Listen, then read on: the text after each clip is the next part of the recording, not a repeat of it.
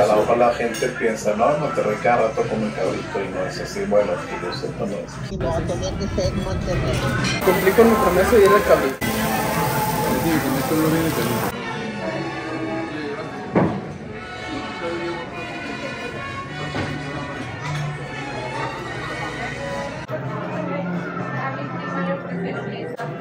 no,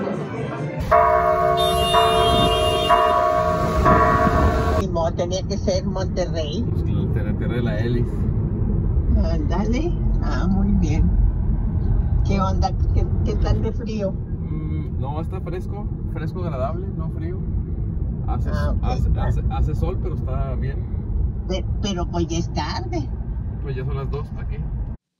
El Rey del Cabrito, historia y tradición en la gastronomía de Monterrey. ¿Y tú? ¿Ya viviste la experiencia?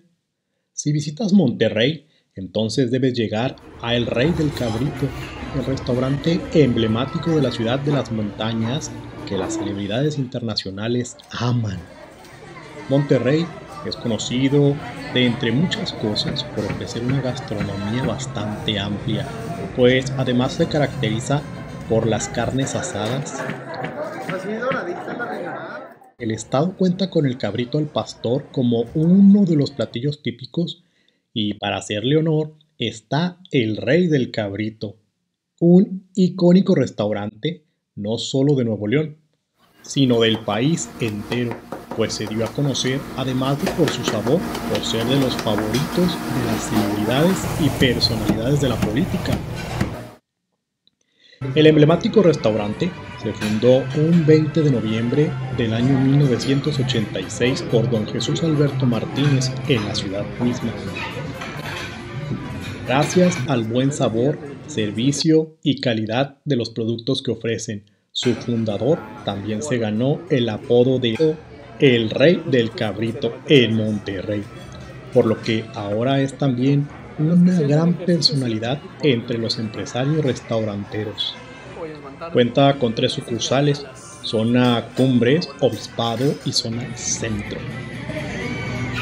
Esta última es la más grande de todas, al contar con tres pisos y una amplia zona para los comensales.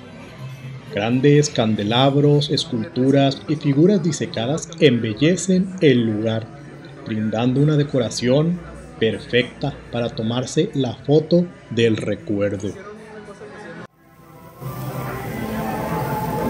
Sí, ya, ya pasé. Cumplí con mi promesa y ir al cabrito.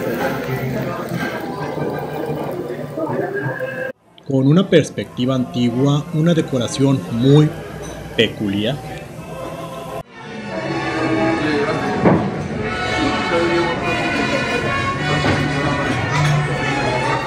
La música regional no falta durante el día y la noche.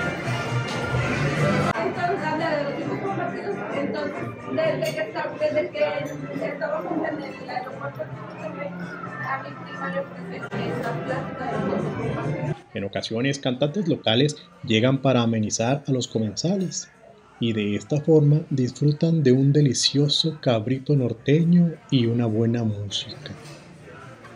Los platillos más pedidos son el cabrito entero, paleta, riñonada y pierna, pero también se puede pedir el cabrito guisado en salsa.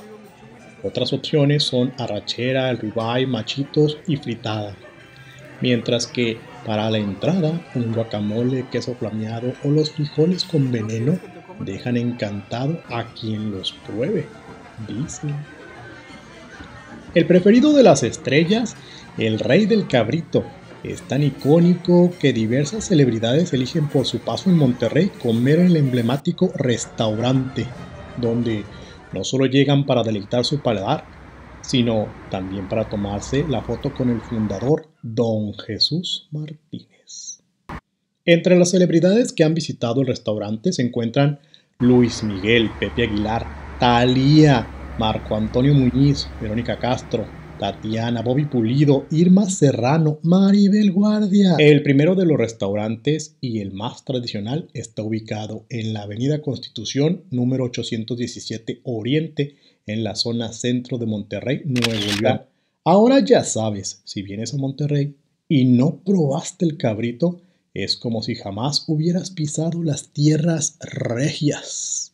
Lamentablemente, hoy en día es algo costoso, pero vale la pena cada peso que pagas por el cabrito. Es.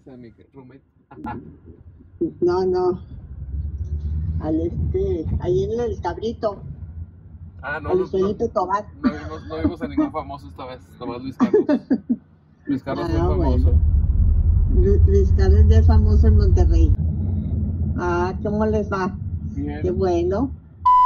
Si tenía pensado alguna persona venir a comer aquí al Rey del Cabrito, ubicado en el centro de la ciudad de Monterrey, bueno, pues cambie los planes porque está clausurado. Desde la Fiscalía General de Justicia del Estado de Nuevo León, acompañados de Fuerza Civil, impusieron los sellos de clausura a este negocio que se ubica sobre la Avenida Constitución en su cruce con la calle Doctor Cos en el centro de la ciudad de Monterrey, que al momento de que llegan las autoridades no había comensales al interior, únicamente trabajadores y eh, bueno, pues ellos fueron desalojados de este inmueble de la avenida Constitución para proceder a la clausura. Hasta el momento a este restaurante El Rey del Cabrito sabemos que anteriormente pues ha habido conflictos entre la familia eh, por cuestiones de herencia.